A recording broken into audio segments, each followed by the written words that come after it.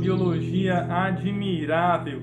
Eu sou Afonso Naftali, professor de Ciências Biológicas, e nesse vídeo eu irei lhe mostrar um maribondo construindo o seu ninho. Vamos ver?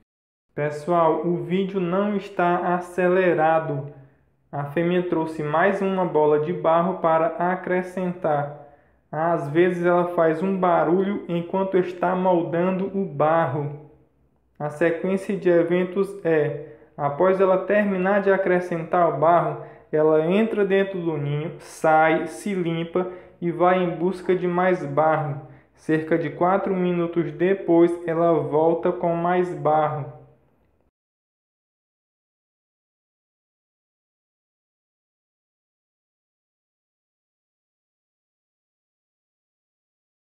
Terminou, entrou, deu uma olhada está se limpando, saiu. Cerca de quatro minutos, voltou pontualmente sem ter relógio no braço.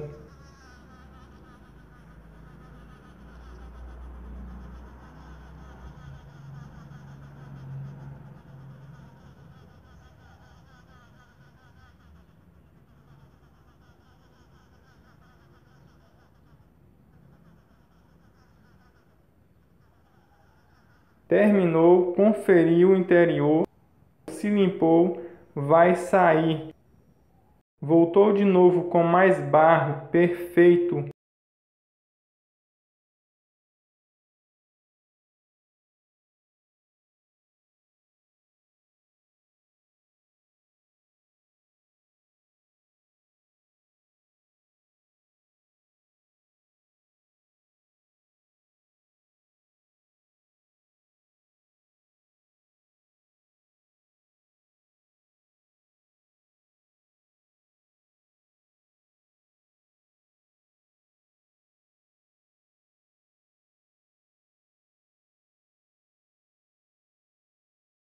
Cerca de uma hora depois, ninho construído.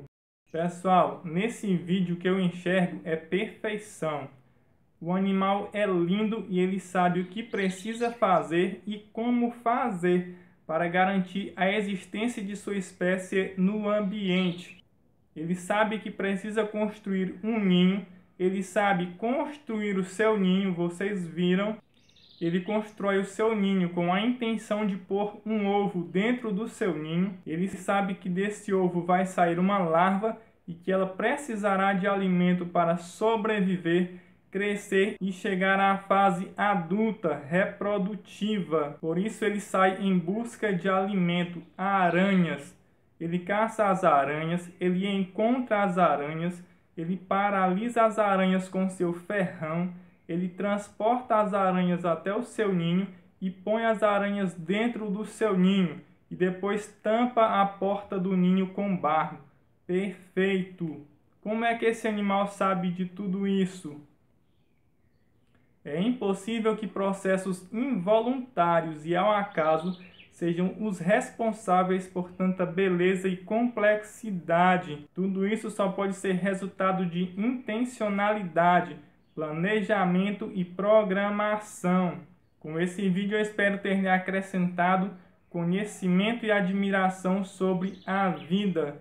Se você gostou do vídeo, fique à vontade para ajudar o canal. Você pode fazer isso marcando o vídeo com gostei, pode compartilhá-lo com seus amigos, pode se inscrever no canal e ativar o sino para receber a notificação de novos vídeos. Ficamos por aqui e até breve.